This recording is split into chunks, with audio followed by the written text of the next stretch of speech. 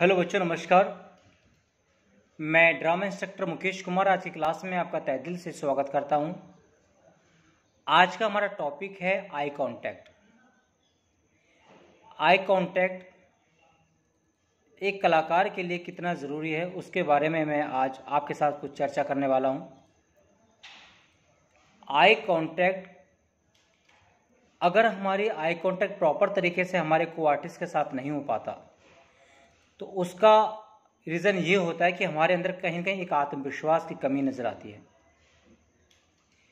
जब भी हम काम करते हैं, हमारी आइज़ हमारी आँखें ये दर्शाती है कि आप क्या सोच रहे हैं। आपके अंदर डर है, या आप घबरा रहे हैं, या सामने वाले से आप नज़रें मिलाने से आप जी चुरा रहे हैं।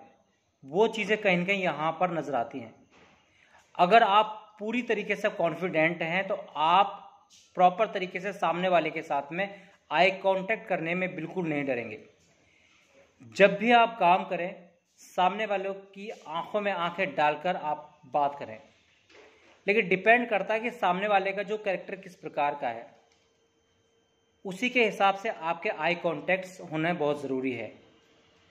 तो मैं बता देता हूँ कि सबसे पहली बात कि आपको आई कांटेक्ट प्रॉपर तरीके से अपनी आँखों को मज़बूत करने के लिए ये अपने अंदर एक आत्मविश्वास पैदा करने के लिए सबसे बड़ी अच्छी एक्सरसाइज है कि आप शीशे के सामने यानी मिरर के सामने आप लगातार पाँच से दस मिनट लगातार आप देखते रहें।